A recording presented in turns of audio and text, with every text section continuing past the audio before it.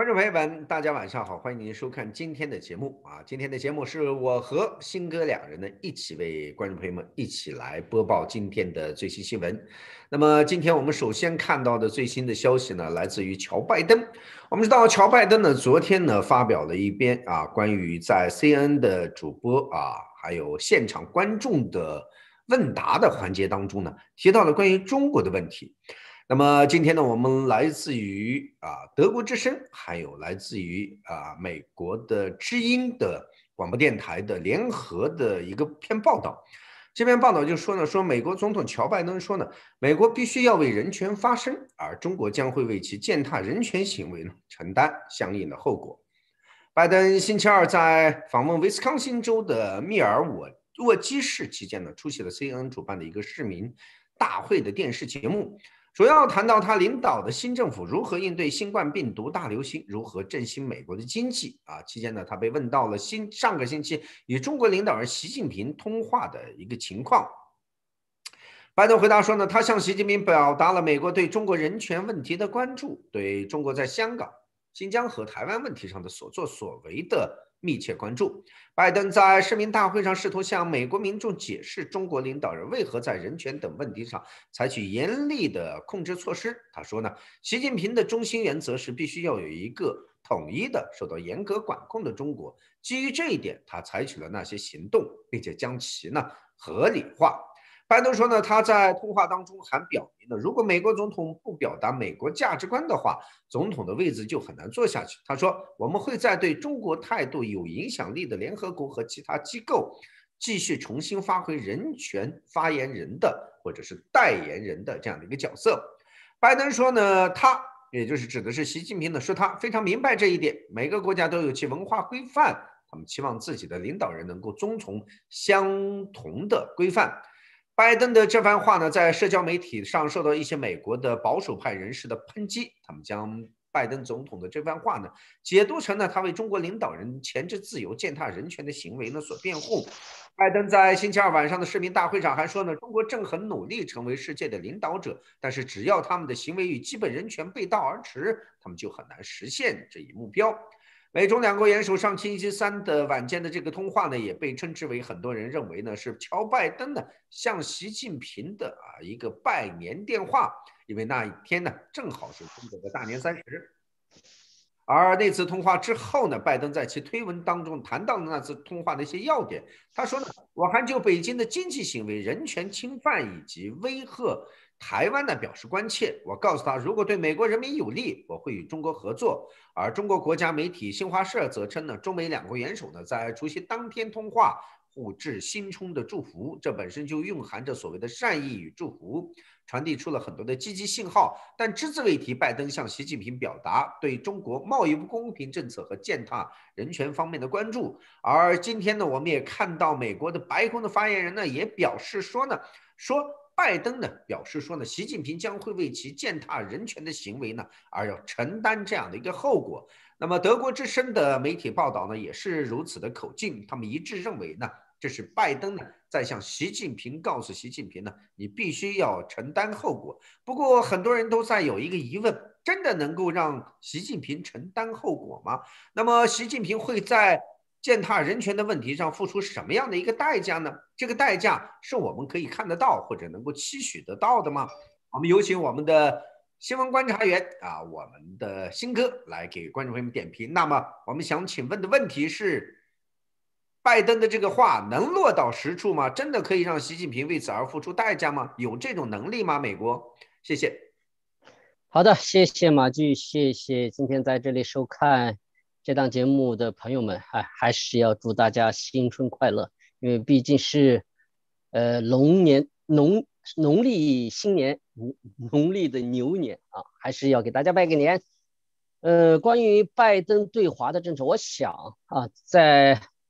中国的除夕之夜，拜登和中国主席习近平通电话，这应该是情理所致，毕竟这是两个大国，而两个大国。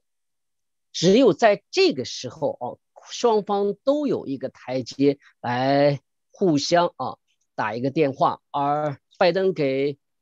呃习近平的这个电话也预示着中美之间的关系，恐怕在新的一届政府中要开启一个新的历程。但是新的历程，我想拜登说的非常非常的明确，那就是中国一定要对在中国实施的一系列政策而带来的人权灾难，他要负责任，他要哦，他要为此带来的后果啊，要付出代价。我想这个。意见，拜登是非常明确的向中国的国家主席习近平表达出来了。当然，我们会观察到，呃，在过去的四年中，中美之间除了贸易之外，呃，对于人权等等一系列的问题，几乎已经成为两国外交政策和外交相互博弈中的一个一个之外的东西。嗯，在中美之间，除了贸易上以外，可能上一届政府几乎把中国的人权问题抛斥在了两国之间重要外交关系啊之外，而现在我们看到的是，拜登政府又把人权的问题拿到了自己对华政策的一个非常重要的一个组成部分。我想，这就是美国价值观的一个体现，也同时也是美国和盟国。重新建立起来对付正在崛起的中国专制的哦的一个一个价值的这个共同点，因为在和西方的一些发达国家、民主国家，只有基于人权、基于呃普世价值的这一个共同点，才能够和嗯他的盟友们达成对待中国的一个统一的呃这样的一条战线。我想。这个目的已经非常明确的表达了。当然，中国政府会是否能够嗯，基于或者看到美国政府在明确的表达有关这一方面的这个明确的意思以后，中国政府是否会有改变？我想，呃，现在的力度是完全不足以让中国去做改变。您觉得现在是拜登的这种讲话，包括美国现在的实力以及西方的这种力量，是无法改变习近平的既定政策，或者是他的这种践踏人权的行为是不可能被撼动或改变，对吧？但是目前，从目前我并没有看到美国和西方的一些国家，他们统一的在人权问题上做一个做一个统一的发声，而仅仅是。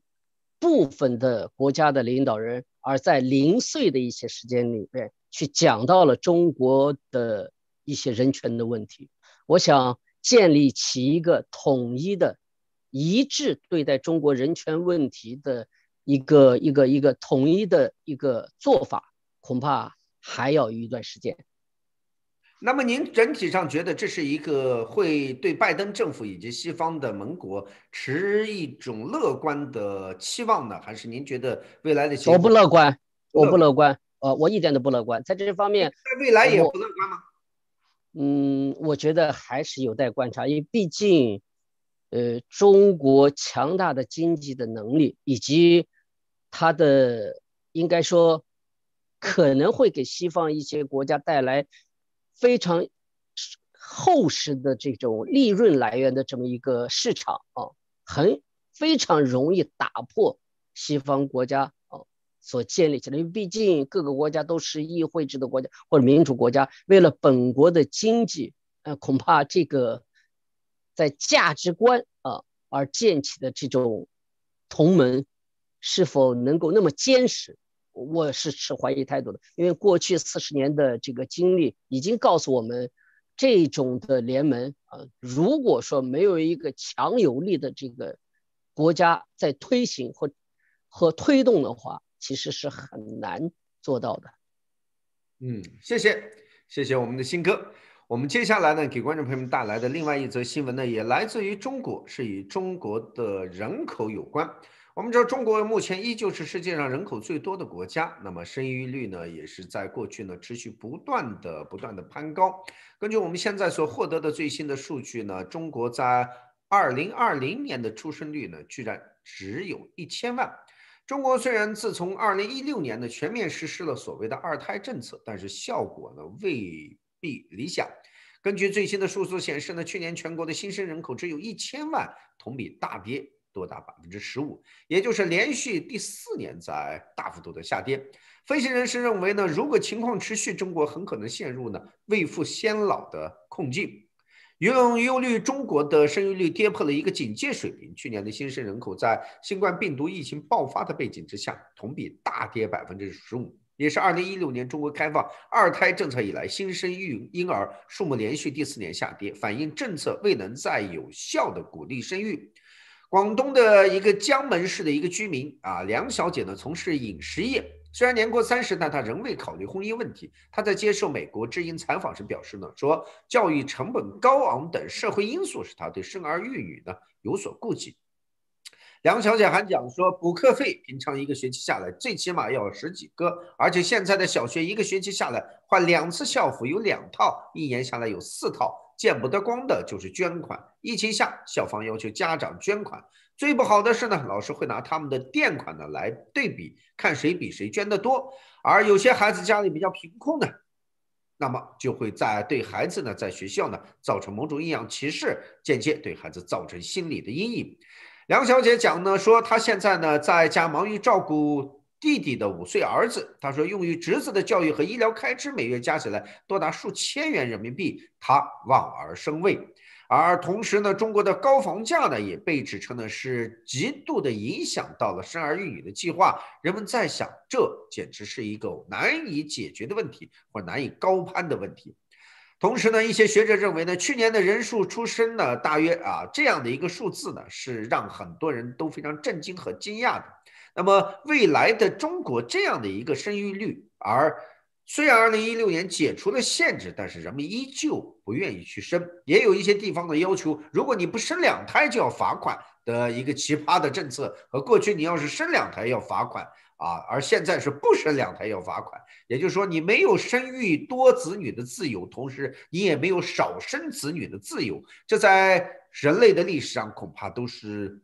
独其啊一支啊，从未见过。但是就是在这样的一个社会当中，人们依旧因为高房价、孩子的教育的高成本等等方方面面的原因呢，而不再生育自己的子女。像类似这样的一个情况，未老先未富先呃先老的这样的一个国度，那么未来也有很多人说何愁啊？这个国家啊，那么很多人都非常发愁，这个国家的未来会变成一个什么样的一个境况？包括经济的发达呀，经济的发展呀，很多人都认为呢，虽然说中国后劲很足，但是在人口方面恐怕难以能够啊这个解决这些问题。包括我们知道刚才的新闻当中，拜登呢也是提到了中国正在遇到的就是低出生率的。未富啊先老的这样的一个困境，那我们想请我问我们的新哥，您觉得中国的这个未富先老这个问题严重吗？严重到了一个什么样的程度呢？呃，实际这个这个问题已经非常严重。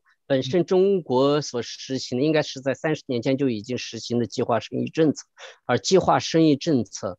呃，从一开始制定到这个所有的过程，我觉得这是在中国。中国改革开放以后，改革开放以前，它其实就已经啊开始了计划。这个政策其实是中国或者是一九四九年以后最祸国殃民的一项政策。而这项政策被提出来被执行，仅仅是因为这个国家人口太多不好管，仅仅是因为这个国家人口太多才造成这个国家的贫困。但是从来都没有从这个国家制度上去反省造成这个国家贫困贫穷。落后的原因。然而，由于计划生育的这种祸国殃民的政策，使得现在我们可以看到啊，人口的再生产能力急剧的下降，而这种的下降就是人为的造成的。但是这种下降是不可逆的。我相信，在中国的。很多的独立的学者在二十年前就已经提到了中国由于计划生育政策带来的人口比例失控、人口下降速度过快、人口再生产能力可能不可逆的这种种种都被已经提出来。然而，在这个过程中，几十年的计划生育政策而带来的利益团体，呃，他们在这个方面获得了巨额的财富。使得改变这项政策确实是非常的难。而在中国的城市里，你会看到，嗯，我想这些在教育部门关于学校安配置上，你会发现，在中国的大中城市，基本上出现了，呃，中小学义务教育的学校在并校这种学校，学校是越来越少，意味着生源越来越少，而沉重的城市的负担，使得呃人们生育第二胎的这种动能大幅度的下降。我说这种的，就说已经形成的人们在脑海里已经形成的这种观念，其实是不可逆的。随着社会的发展，随着人们对生活未来的这种负担的这种可预期，使得生二胎的这个欲望就更下下降。你像我也看到这个数字，在两千二零年的新生儿的人口的出生率只有。出生的总数只有一千零三万人，而在去年的这个数字可能大概是在一千四百万，而仅仅是一年的这个时间，就大概四百万的人口，就是在自然生生产的情况下就已经消失了。我相信，可能在未来，这个数字还会下降。这个数字是非常可怕的。我想，在临近的应该是一个多月前的有一台节目中，有一位专门做人口研究的这么一个学者，他就已经，他其实已经做了二十多年的这个人口研究，对于中国人口所产生的这种这种人口增长的，或者说人口再生产的这种不可逆的这种结果，而给这个国家带来最终可能的甚至种族性的。人种，这个这个这个的一个一个急剧的这个下降而带来的，呃，这种人口的再生产啊，都会带来很大的麻烦。至于未老，或者说叫先衰，或者说是未富先老，我觉得这都不是都不重要，这都不重要。重要的是这个国家这个整体的人口的再生产能力。下降了，但是这里也有一个说法，很多人是说啊，包括一些中国的一些学者认为，这有利于是一个什么呢？是中国会未来成为 AR 技术、人工智能技术，包括实施的机器人方面啊，那么有更大的一个市场。那么这种说法，您觉得是合理的吗？我觉得这非常荒谬。它这个现实中的自然的这些人呃人口大量的下降，而造成了。整个社会的问题不去考虑，反而是用什么人工智能来代替人啊？我觉得这个想法就如同这个社会上就要几个人就行了，我以后全部用技术用用用机器人来代替就可以了。那么要人还干什么？也就是说，这是一个非常荒谬的一个想法，违背人性的一个说法。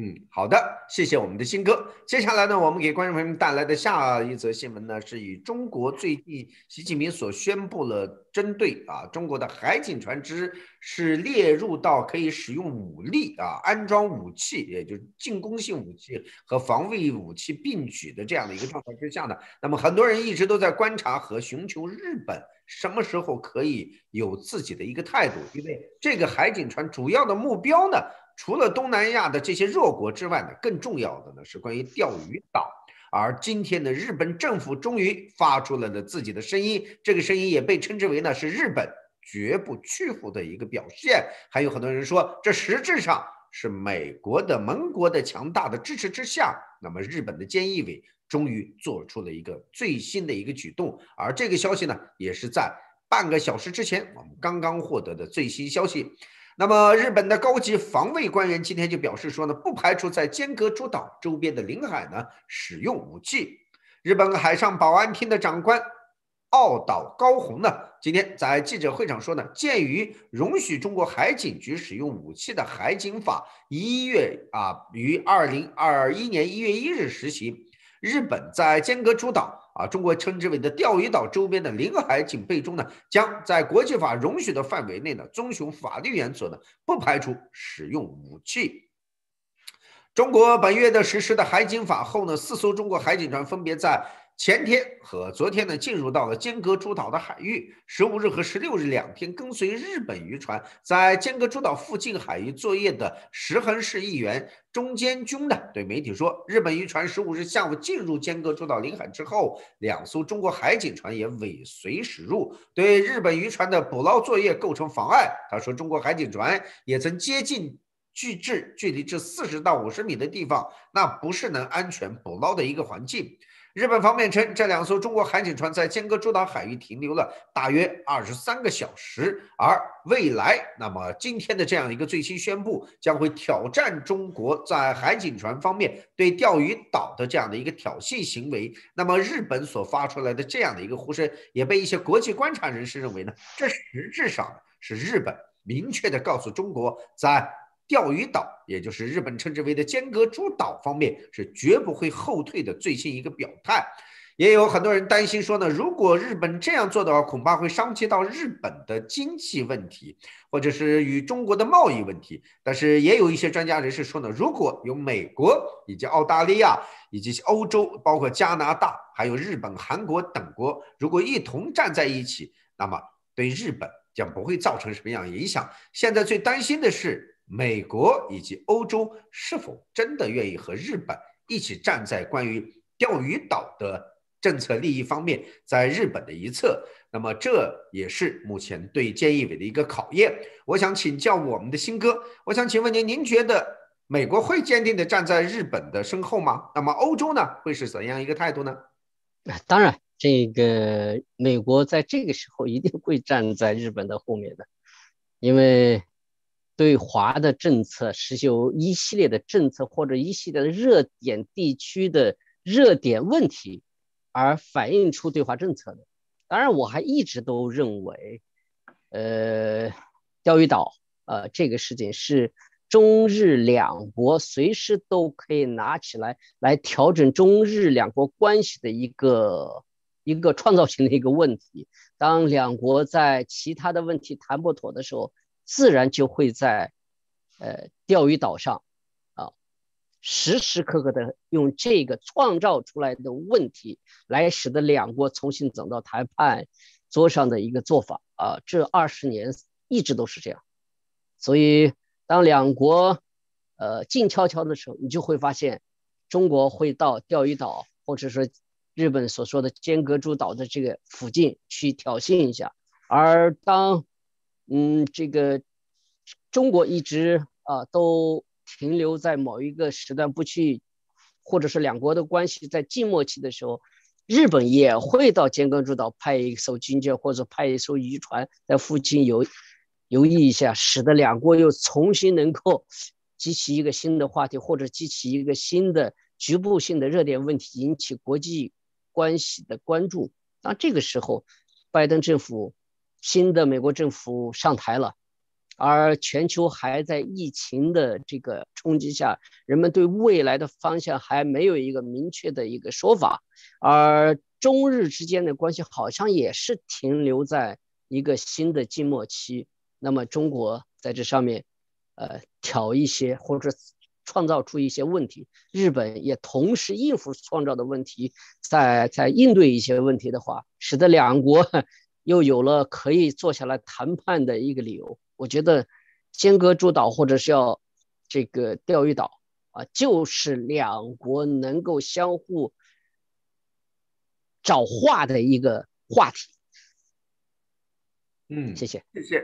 谢谢。我觉得您最后一句话点睛啊，找话的一个话题啊。那么同时呢，日美国呢也会坚定的站在日本一侧。不过这些呢都是一个最新的一个表态。那么很多人是认为呢，看来啊，日本是回避这些问题是没有办法，因为有一个咄咄逼人的习近平呢，正在向对外以及对内呢紧密的控制，而对外呢有利的以民族主义的方式呢在扩张当中。接下来我们给观众朋友们带来的下一则新闻呢，来自于《卫报》。《卫报》的最新一个新闻呢，也表明一件重大的美国的中东政策的全盘的一个改变的新契机，或者一个新的信号。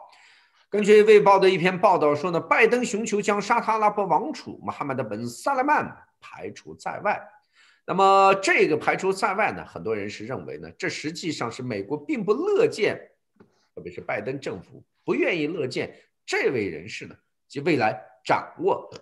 沙特阿拉伯。当然，目前还并没有表示出啊对于这位王储未来掌权的疑虑，也美国也并未表态呢，他将会支持其他的任何的有利的竞争者。但是今天，根据拜登政府呢已经表示，希望沙特阿拉伯呢改变对美国的态度，并希望减少总统与该国事实上的统治者穆罕默德本萨勒曼王储之间的直接接触。在与川普政府相比呢，这一立场标志着一个极其重大的变化。这位王储呢，是这这样的一个变化呢，是这位曾经啊，那么川普政府呢，是这位年轻的继承人呢，备受关注和称赞。尽管此人呢，曾经对《华盛顿邮报》的记者贾马尔·卡舒奇呢的谋杀案当中呢，有重大的一个参与，并且目前的证据显示呢，他就是真正的下令者。不过，当当川普总统似乎并不在意这一点，反而呢全力以赴的提振了这位王储在国际舞台的地位，并且呢全力以赴的支持他在也门战争、在中东地区的卡塔尔的断交风波，以及在对伊朗的强硬态度等等方面呢，那么都是呢我们知道的前总统当当川普的坚定的支持者，当当川普呢也对他呢是另眼相看。尽管目前我们已经得到的最新消息指出呢，根据情报，美国的情报官员呢正在准备，可能最早会在下周呢向国会发布一份解密后的报告。该报告将描述沙特阿拉伯王储穆罕默德本萨勒曼是如何下令谋杀这位华盛顿邮报的记者贾马尔卡舒奇的。如果此事那么真的最新的证据显示与其有关，我相信呢，这位王储将会呢。面对美国的各方面的制裁，而美国不可能与一位这样的人士呢有过多的交道。而这个王储如果失去了美国的支持，想必他也在中东地区呢是难以为继。很多观察人士认为呢，美国的这样的一个做法可能掀起沙特阿拉伯整个国内的一片政治巨浪，因为虎视眈眈的盯着这个王位的王子们多如牛毛。同时呢，人们对这位王储的意向和态度，以及对他的干管干呢，也都为呢极为的糟糕。那么很多人是认为呢，这位王储本来呢就是一位德不配位之士，他在他的上台的这几年里，不仅仅是谋杀了卡舒吉，并且发动了一个毫无任何正义可言的也门战争。那么也同时对于同是 GCC，也就是海湾六国委员会的卡塔尔所进行的一次断交风波，还有他所支持的在国际上的其他的军事冲突当中所扮演的角色，都令人所不齿。所以呢，那么如果拜登政府在公布了这个王储的罪证之后，相信他的政治生涯也将告一段落的可能性呢，会大幅度的增加。感谢我们的新哥，感谢我们的观众朋友们，希望大家都能够给我们节目呢点赞、订阅和转发。